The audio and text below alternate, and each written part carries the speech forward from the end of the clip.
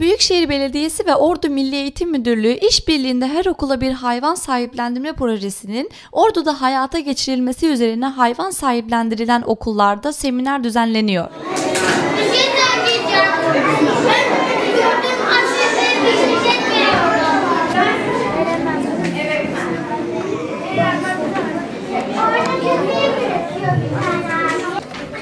Kapsamda ilk olarak sahiplendirilmenin yapıldığı Altınordu Adil Karlıbel Özel Eğitim İlkokulu'nda seminer gerçekleştirildi.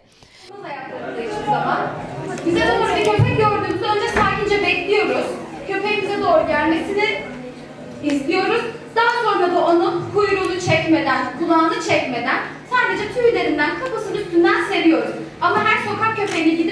Seminerde alanında uzman kişilerce öğrencilere hayvan sevgisi ve çevre duyarlılığı ile ilgili bilgilendirmeler yapıldı.